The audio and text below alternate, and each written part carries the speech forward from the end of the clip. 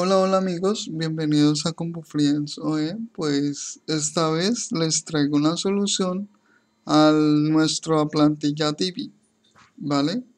Y es que resulta que en ocasiones o hacemos algo mal o algún plugin nos está haciendo mal las cosas, ¿listo?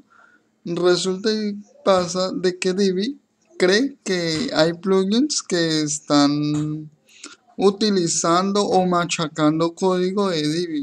O sea, es como si nosotros tratáramos de colocar un código encima de Divi. Pero bien, pues la cuestión es intentar resolver este pequeño problema, ¿vale? Si nosotros le damos administrar a sus complementos, pues obviamente nos va a mandar a sus plugins. ¿Listo? Entonces le damos un clic y nos damos cuenta que por ende, o sea, le vamos a dar clic de momento, o sea, para que ustedes analicen bien la cosa. Todos estos son mis plugins que yo tengo, aunque hay pocos que tengo activado. ¿Listo? Resulta que estos plugins están bien. ¿Listo? Entonces no hay por qué desactivarlos. Y pues obviamente los vamos a necesitar. ¿Listo? Uno de los problemas son aquellas personas que utilizan plantillas, un child times o tema hijo, como le quieran llamar, pues hay personas que modifican algunas cosas y pues están suplantando código que tiene Divi. ¿Listo? Recuerde que nosotros tenemos un CSS y tal. ¿Vale? Pues mira, ¿qué he hecho yo? Este es mi plantilla, mi, mi tema hijo y este es la función PHP. Pues si quieren seguir, pues manita arriba y quiere que hagan más videos sobre esto, pues para aquellas personas que sean tanto novatas, intermedio o avanzado.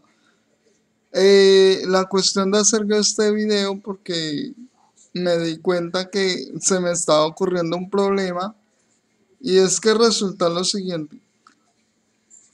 Aunque mi página se ve bien, les voy a enseñar el sitio.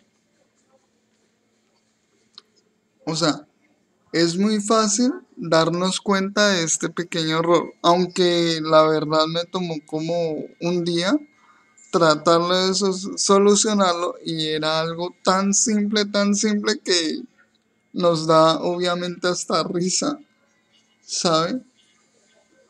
Entonces, esto es lo que yo he hecho y aunque los cambios se me ven bien, si yo le doy un clic, obviamente se me va a ver bien, o sea, yo he hecho este pequeño relleno, pero si nosotros nos vamos a la página, por más que nosotros recarguemos, ella va a intentar y nos va a volver a aparecer lo mismo. ¿Listo? O sea, no nos va a dejar cargar el, el, el Divi. ¿Listo? Aunque esto es un tema y no es el Divi Builder como tal, que es un plugin, pues no lo estoy utilizando. Estoy utilizando el propio tema de Divi. Bien, vamos a la solución. Una de las soluciones es que yo acá he creado un código, eh, un pequeño código de descuentos, pero yo le añadí la clase ahorros, ¿sí? Esa es una clase para, pues nosotros, si nosotros nos vamos acá, pues yo lo que intenté fue tratar de, de machacar ese código, ¿sí? Entonces yo le coloqué, vamos a colocarle un nombre eh, fíjense bien como yo lo tengo, ¿listo? Si observan el color, ¿no? Es como un verde, es un teals, pues por su nombre me gusta colocar más el nombre que código de, del propio CSS, ¿listo?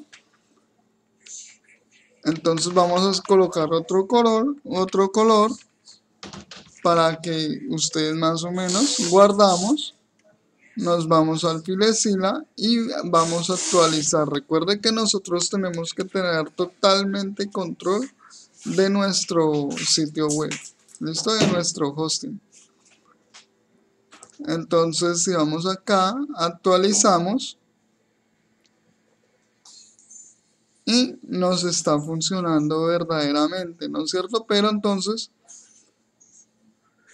el Divi que nosotros tenemos nos dice que otro plugin o algo nos está ocasionando conflicto con complementos de terceros, ¿vale? Entonces, mi solución, mi solución sería no escribir código dentro de función PHP, CSS más que todo, porque si ustedes colocan un error, pues obviamente no les va a funcionar. O sea, ya ahí no le funcionaría la página, por decir.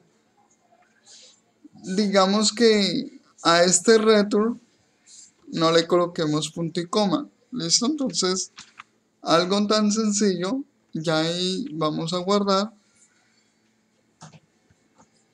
Nos daría error, o sea, no nos saldría.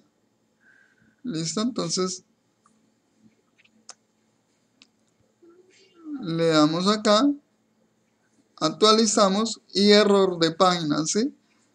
Más sin embargo, como borramos nosotros nuestro CSS, mm, nos está dando error, entonces nos botaría error. Si agregamos el punto y coma, pues obviamente solucionado, ¿listo? Actualizamos. Recuerden, no debemos escribir CSS en una función PHP, ¿listo? En la hoja. Recuerden que estamos dentro de un tema hijo, ¿vale? Entonces le vamos a actualizar, actualizar y actualizar. Ahí ya nos va a funcionar y si nos vamos a nuestro propio WordPress. Bueno, me cargo muy bien que digamos. Actualizamos. Y ya lo podemos manipular. ¿Listo?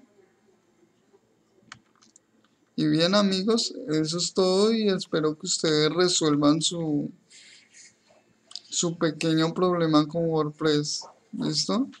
O con Divi. Ahí bien amigos, pues eso es todo y dale like y suscríbanse.